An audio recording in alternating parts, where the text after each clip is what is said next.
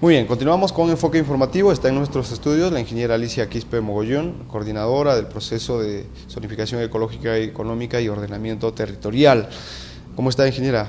Buenas noches, bienvenida. Buenas noches, un gusto nuevamente poder compartir esta entrevista y poder informar de lo que venimos haciendo en el ordenamiento territorial. Sí, este, la población cajamarquina definitivamente está este, a la expectativa, eh, muy ansiosos de, esperar, eh, esperando, perdón, qué avances hay, ¿no? Referente al, tema del proceso de, zonificación ecológica, que creo que ya concluyó, y el paso siguiente, que es el tema del, del ordenamiento territorial.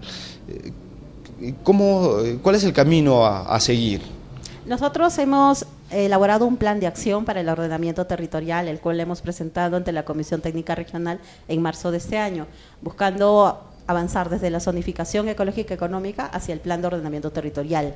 En el mes de mayo de este año pues, sale publicado en el peruano la resolución ministerial 135 del Ministerio del Ambiente, en donde establece que entre la zonificación ecológica económica y el plan de ordenamiento territorial hay que sumar seis estudios especializados, los cuales forman parte, junto con la CTE, de un diagnóstico integral del territorio y recién allí podemos ir al plan de ordenamiento territorial. En este punto es importante que la opinión pública sepa lo siguiente, que para efectos de plan de ordenamiento territorial, el Ministerio del Ambiente todavía no ha sacado una sola guía metodológica. O sea, no hay nada. No hay nada. Los eh, estudios especializados van a ser parte de todo el paquete que vamos a llamar nosotros diagnóstico integral de territorio.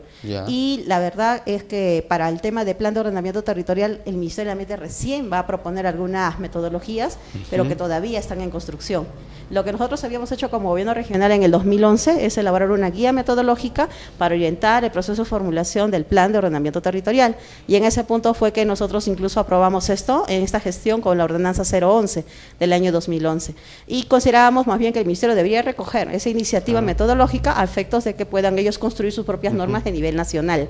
Es importante también que la opinión pública sepa que a nivel nacional no existe ningún departamento que haya elaborado un plan de ordenamiento territorial. Solo es Cajamarca. Cajamarca está en proceso de justamente construir el diagnóstico, sino lo que vamos es que ningún departamento, ningún gobierno regional ha elaborado un plan de ordenamiento ah, territorial. la mayoría tenemos zonificación ecológica económica, y básicamente las iniciativas que hay de planes de ordenamiento territorial están en los niveles distritales y también a nivel de microcuencas y subcuencas, pero falta capacidad técnica, capacidad profesional, ¿no? que pueda justamente poner a disposición de los gobiernos regionales justo estos instrumentos. Y aparte también tenemos la carencia de una ley de ordenamiento territorial que ayude justamente a establecer el tema de entes rectores, el asunto del ordenamiento territorial, por ejemplo. Claro, eh, ahí iba, ¿no? El tema es de que si no hay una ley de ordenamiento territorial, no hay una guía metodológica que, debió de trabajarlo ya el Ministerio del Ambiente, el gobierno central eso significa también este, o retrasa los procesos de las regiones que quieren dar el siguiente paso, como en el caso de Cajamarca. Así es. Nosotros hemos estado muy entusiasmados en el hecho de que ya habíamos conseguido la opinión favorable del Ministerio del Ambiente en octubre del año 2012 y ya estábamos habilitados para entrar al plan de ordenamiento territorial. Tanto así que hicimos el plan de acción y establecimos todos los pasos que íbamos a seguir este año. Pero nos cae esta resolución ministerial en mayo y eso hace que debamos que reprogramar o reagendar todas las acciones que teníamos pensadas para trabajar. Nos hemos puesto como meta que a noviembre de este año debemos tener ya los estudios preliminares, digamos, en versión, digamos, de documento de trabajo de los estudios especializados y en diciembre estar gestionando con el Ministerio del Ambiente la opinión favorable. Entrar al año que viene, 2014, de lleno ya lo que sería diagnóstico integral del territorio, el consolidado y el tema ya de la formulación propia del plan de ordenamiento territorial. Los estudios especializados en, ah, eh, ¿en qué consiste?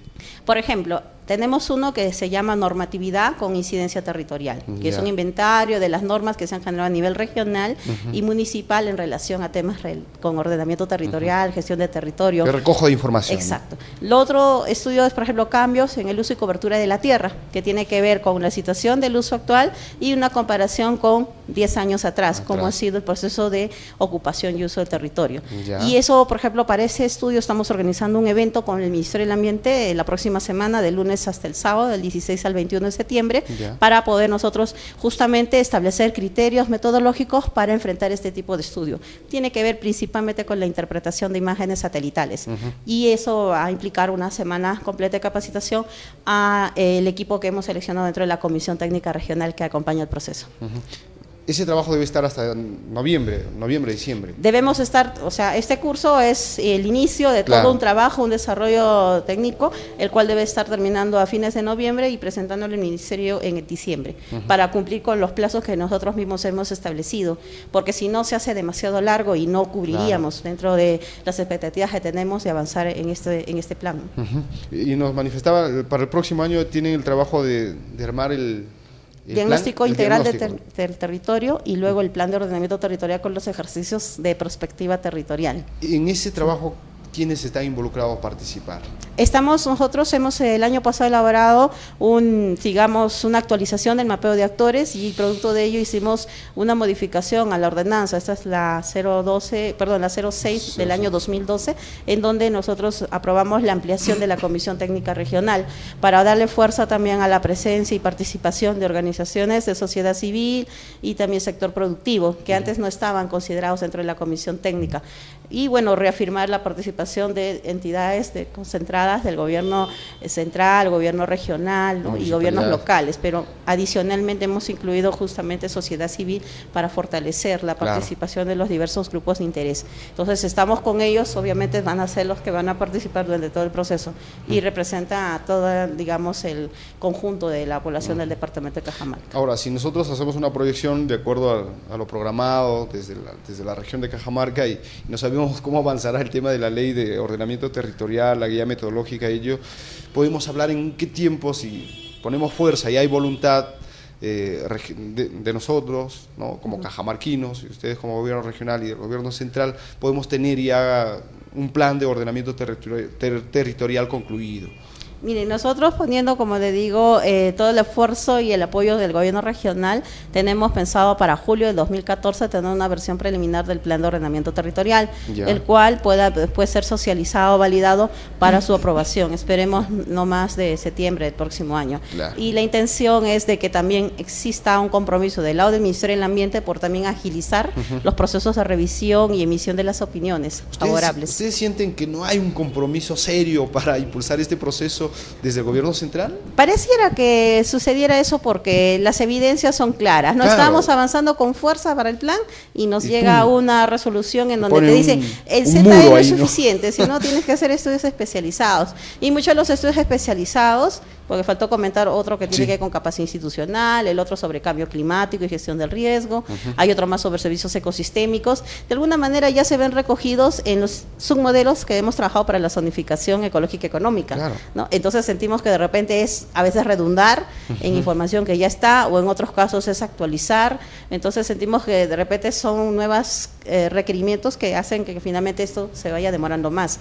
Entonces el gobierno regional de Cajamarca siempre a la vanguardia ha generado generado una iniciativa legislativa que significa proyecto de ley orgánica para el ordenamiento territorial para el desarrollo sostenible. ¿Que lo han trabajado ustedes? Que se ha trabajado a nivel de la Comisión Técnica Regional, se presentó al Consejo Regional, fue respaldado y ya se encuentra en la Comisión de Pueblos Andinos, Amazónicos y Afroperuanos. Y hemos conseguido, justo con razón de haberse organizado la tercera asamblea del ANCOR, hemos organizado justamente el compromiso de que Jorge Rimanachín, que es presidente de la Comisión de, Descentralización, pueda generar una audiencia pública descentralizada en octubre de este año aquí en Cajamarca, ah, para empezar a de alguna manera reunir las cinco iniciativas legislativas que están dispersas eh, y poder consolidar un solo proyecto. Una sola propuesta, ¿no? Junto con la de Cajamarca, lo que presentó la plataforma de ordenamiento territorial y otras más que están por allí dispersas para poder analizar y poner en agenda el tema de ordenamiento territorial. Sería, digamos, una ley que nace desde las regiones, ¿no? Claro, porque las regiones son las que hemos vivido el día a día y sabemos que necesitamos y que necesitamos también que se proponga a nivel normativo. Por esa razón es que se ha generado esa iniciativa y esperemos pues que se pueda empezar a agendar desde octubre en mm, adelante. Sí, sí, habrá que ir presionando al congresista Jorge Remarachín. Creo que este, existe la voluntad y, comprometer a otros congresistas para entrar en el debate, que eso sería, sería lo ideal. Ahora, este, yendo al tema normativo, definitivamente, ¿no? hubo una reunión de, Junta de Gerentes y acordaron este, aprobar un proyecto de ordenanza ¿no? para el plan de ordenamiento territorial del departamento de Cajamarca. ¿En qué consiste ese, trabajo que se va a hacer? Mire, esto radica principalmente en que como ha habido cambios en las reglas de juego desde el punto de vista legal, entonces lo que queremos es tener un plan de acción que establezca ya los pasos definitivos que van a ayudar a conseguir el plan de ordenamiento territorial. Trazar el camino. Digamos. Exacto, pero que también ayude que ya más adelante no nos saquen nuevas cosas, nuevas guías, nuevas que lo que hagan es dilatar más aún el proceso de desarrollo de este plan. Y por esa razón es que en Junta de Gerentes se aprobó que se respalde una ordenanza que mantenga en vigor el tema del interés que se tiene en Cajamarca de impulsar el plan de ordenamiento territorial y de paso aprueben el plan de acción que hemos diseñado para poder lograr ese objetivo dentro de esta gestión. ¿Esa propuesta ya lo, ya lo tienen trabajado? Ya se encuentra en el Consejo Regional y ya se están elaborando los dictámenes respectivos, cosa que en la primera sesión que toca ya se va a debatir. Del mes entrante, ¿no? Sí. Exacto. 2 de octubre más o menos, o la primera semana de octubre, eh, probablemente el Consejo lo, lo, debata. ¿no? Así es, ya está todo listo, las opiniones técnicas, legales, todo ya está completo el expediente, solo falta que los consejeros elaboren el dictamen. Me parece definitivamente interesante. Eh, cambiando de tema, nos indicaban de que para el 20 tenían un taller, algo así. Sí. tiene que ver también con, este trabajo. Así es. Nosotros hemos, en coordinación eh, Gobierno Regional con Asociación SER, estamos organizando un foro taller justamente para, desde la perspectiva ¿no? del proceso de ordenamiento territorial, aportar para la construcción de un modelo de desarrollo alternativo para Cajamarca. En este evento estamos invitando a diferentes entidades de la sociedad civil, el sector público, privado, para poder reunirnos y empezar en el marco de las exposiciones que vamos a tener. Contamos con la presencia de Manuel Glave, de Grade. Eh, es un analista, es economista y tiene una noción completa de todo el devenir, el, aspecto económico a nivel nacional. Y nos va a acompañar también Raúl Izarraga Bobbio, ex funcionario de Naciones Unidas, que también va a poder hacer una disertación sobre ya cómo vemos el tema de descentralización, eh, los retos que tenemos para el próximo año, en base justamente a un análisis y lectura de la situación actual. Entonces estamos aprovechando este espacio para invitar ¿no? a quienes eh, estén interesados en participar. Vamos a estar en el Gran Hotel Continental el día 20 de septiembre a las 9 de la mañana en el Salón Huáscar para poder justamente llevar adelante este foro taller. Muy bien, este, ingeniera Alicia, gracias por atender a nuestra invitación. Seguramente vamos a seguir conversando y vamos a ser sigilosos de, de, este proceso ¿no? de ordenamiento territorial que creo que es una, un, un pedido, un sentimiento de la población cajamarquina. ¿no? y esperemos que eso vaya cumpliéndose y no haya más trabas ¿no? desde el gobierno central, que eso nos preocupa. Muchas gracias. Muchas gracias también. Vamos a una pausa comercial y retornamos con una entrevista al director, perdón, al